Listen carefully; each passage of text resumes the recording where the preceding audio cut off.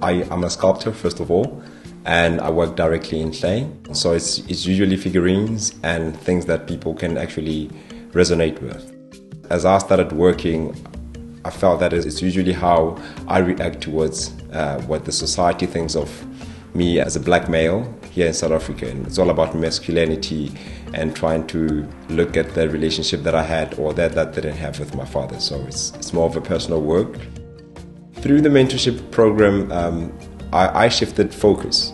So in the beginning, it was more of just producing art for art's sake. But now I think that my art has a soul, which I got from the mentors. I'm more precise as an artist. I'm more clear about my visions. So heading off from here, I'm going to be able to hopefully see myself being part of a gallery